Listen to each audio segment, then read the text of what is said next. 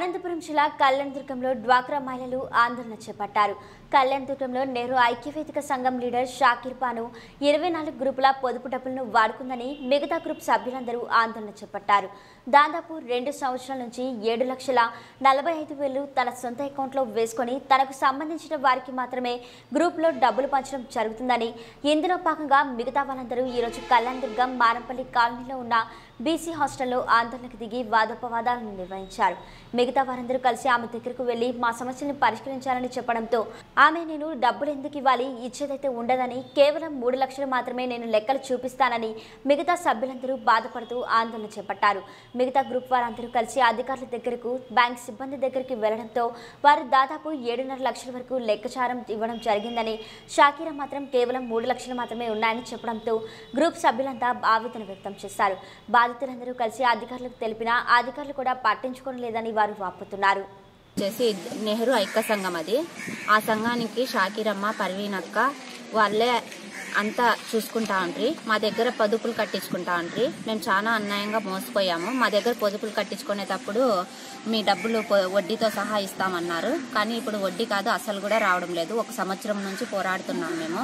మా డబ్బులు ఏమైందో ఏం లేదో లెక్కాచారం మాకు చూపించడం లేదు. ఏమైనా లెక్కాచారం చేయండి మేడం అని పెద్ద పెద్ద వాళ్ళకి అడిగితే మేడం వాళ్ళకి అడిగితే మేడం వాళ్ళు కూర్చుంటారు. ఆ సార్ రాలేదు ఈ సార్ రాలేదు అంటారు. మేము ఏం చేయాలో మాకు అర్థం కావడం లేదు. మా లెక్కాచారాలు ఎప్పుడు తెగుతాయో మా డబ్బులు ఎప్పుడు వస్తాయో మా డబ్బులకి వడ్డీ ఇవ్వమని బాగా ఖచ్చితంగా చెప్పేశారు వాళ్ళు.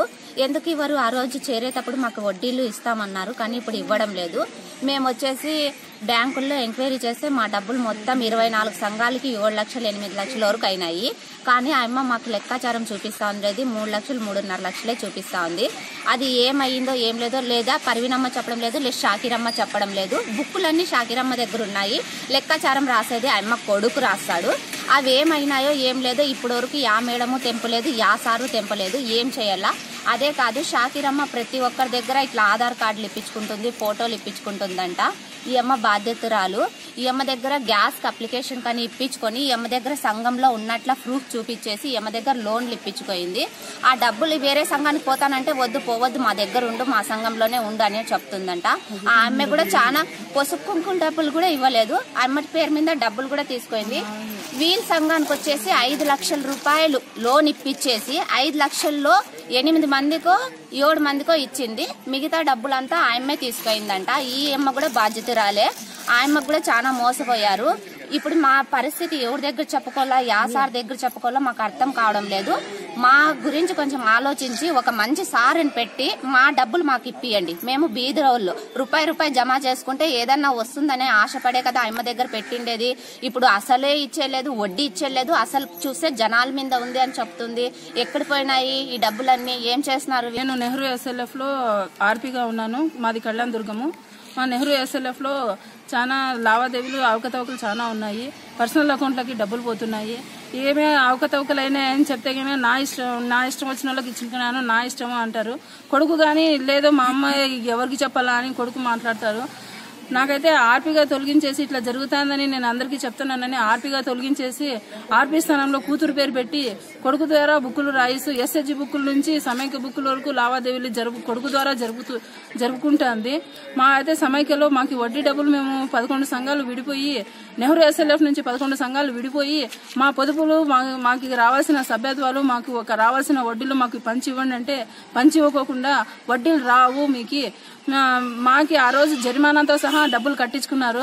ఈ రోజు మాకి పొదుపులు వస్తాయి కానీ జరిమానాలు సభ్యత్వాలు వడ్డీ డబ్బులు రావు అంటే అని అంటున్న సమాధానం వస్తుంది. మేము ఈ విషయాన్ని మేము మేడం వాళ్ళు ముందరకు తీసుకుపోయినా కానీ మేడం వాళ్ళు కానీ మాకు వడ్డీ డబ్బులు రావు అని చెప్పినారు. వడ్డీ డబ్బులు రావు మీకు పొదుపులు ఒకటే వస్తాయి. సమైక్యకి ఆ ఖర్చులకి సమైక్య ఆర్పి జీతాలకి సమైక్య ఖర్చులకి వడ్డీ డబ్బులు తీసుకు వర్తిస్తాయని అంటున్నారు.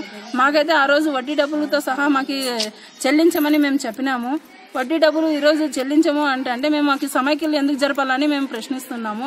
సమైక్యలు వాళ్ళ ఒక ఇంటి కోసము ఇన్ని సంఘాలలో అక్కడ ఇంటి ఖర్చులకు వాళ్ళ అధ్యక్షుల ఇంటి ఖర్చుల కోసము మేము సమైక్యలు జరపాలా?